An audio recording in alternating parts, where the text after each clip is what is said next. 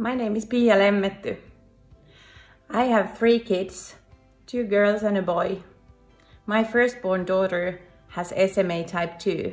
She got her diagnosis when she was nearly two years old, so my journey with SMA has lasted already for a decade.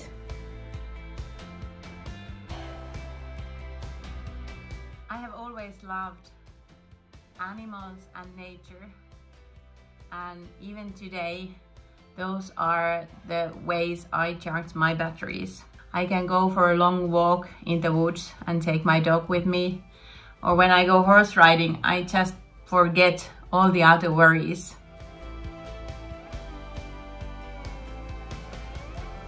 The most important thing is to be a mother to my child.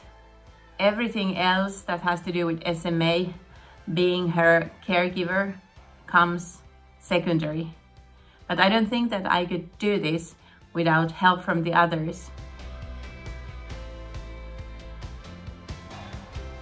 SMA is a rare disease, so like many, I'd never even heard about it when my da daughter got her diagnosis. Of course, it was a shock in the beginning. And the beginning, it was quite tough.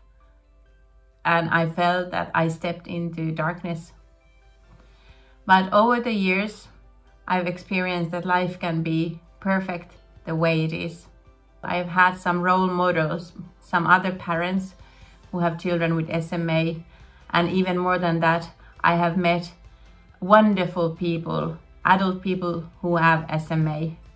And I've seen that they are great people and they live happy lives. So that has been one of the most important things that has taken me back on track.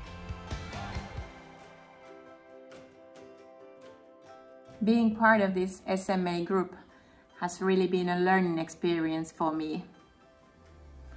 I realized how much power there is in collaboration and how much we can learn from each others.